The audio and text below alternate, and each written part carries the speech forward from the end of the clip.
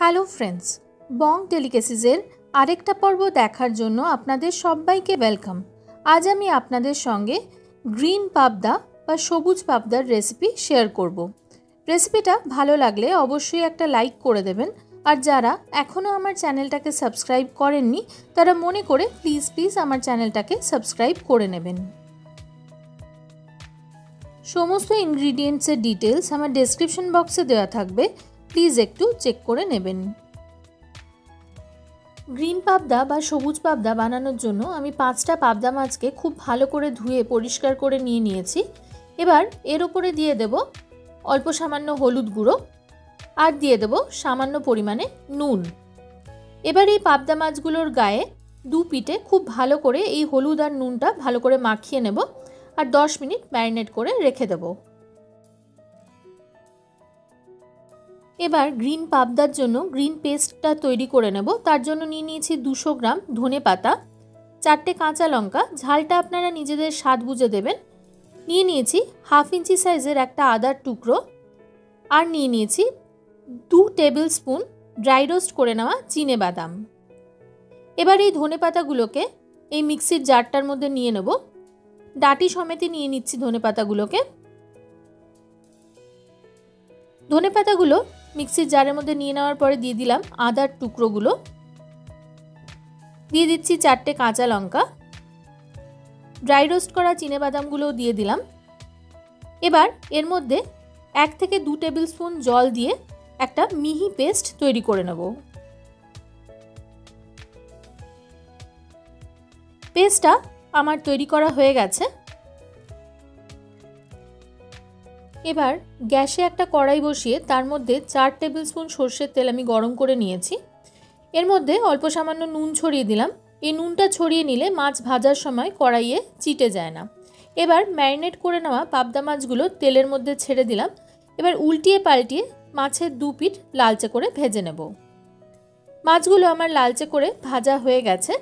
এবার এগুলোকে তেল থেকে তুলে সরিয়ে রাখব। আর এই একইভাবে বাকি মাছগুলো আমি ভেজে নেব।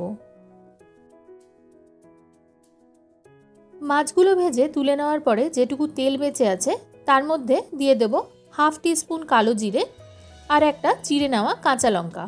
এই ফোড়নটাকে নাড়িয়ে চাড়িয়ে তিরিশ সেকেন্ড মতন একটু ভেজে নেব।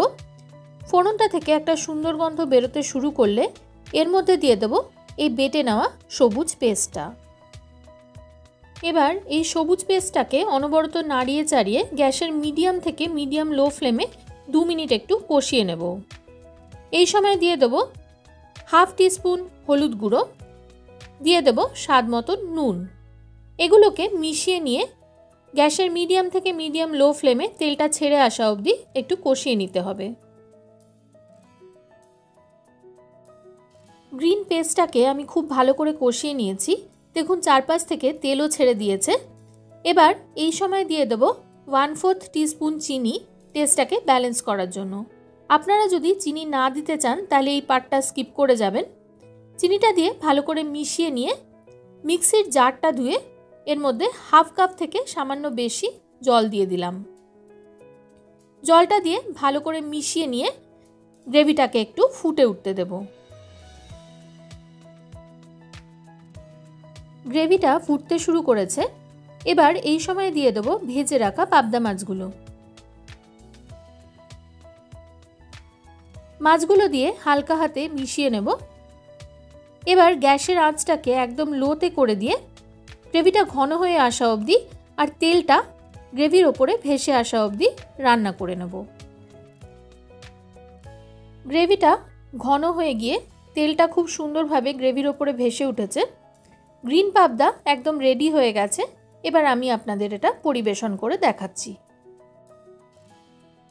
খুবই কম মশলায় আর কম উপকরণে খুবই সহজভাবে এই গ্রিন পাবদা তৈরি হয়ে গেল। গরম ভাতে এই গ্রিন পাবদা খেতে দারুণ লাগে। আপনারা অবশ্যই একবার এই রেসিপিটা ট্রাই করে দেখবেন। যদি আমার এই রেসিপিগুলো আপনাদের ভালো লাগে, তাহলে অবশ্যই একটা লাইক করবেন শেয়ার করবেন কমেন্ট করবেন, আর আমার চ্যানেলটাকে সাবস্ক্রাইব করে নিলে আমার খুব ভালো লাগবে। Thank you